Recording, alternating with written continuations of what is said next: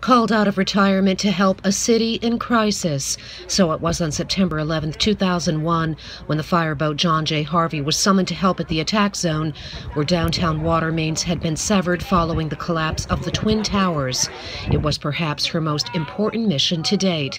On Sunday, the boat, which has been in Kingston since Friday, made an important stop in the town of Ulster for the 15 year anniversary ceremony at Robert Post Park. We have done this ceremony every year, but this year being the 15th anniversary, we wanted to try to take that extra step, make it a little bit more special. And the, having the John Harvey here behind us as we have our ceremony was that extra step. We're absolutely delighted that they were able to make it. The ceremony took on greater meaning as the vessel, capable of pumping 18,000 gallons of water a minute, connected area residents in a visible way to the grief at Ground Zero. The ceremony, which included special music, a wreath toss on the river, and memories of that day, brought tears to many, the emotions still strong 15 years later. I just think that we need to educate our youth.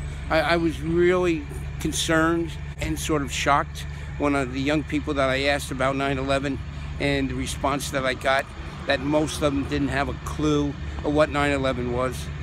Ceremonies like the one at the town of Ulster help to keep the memory alive, and vessels like the John J. Harvey serve as a tangible way to do that. On 9 11, I think everybody who lived in Manhattan, everyone who lived in New York State really wanted to do something. Um, but so few of us had a chance to, and um, this was something that was easy for us. It's what we do, we know how to do it, and um, it was great that we could contribute. In the town of Ulster, Paula Mitchell, hvnn.com.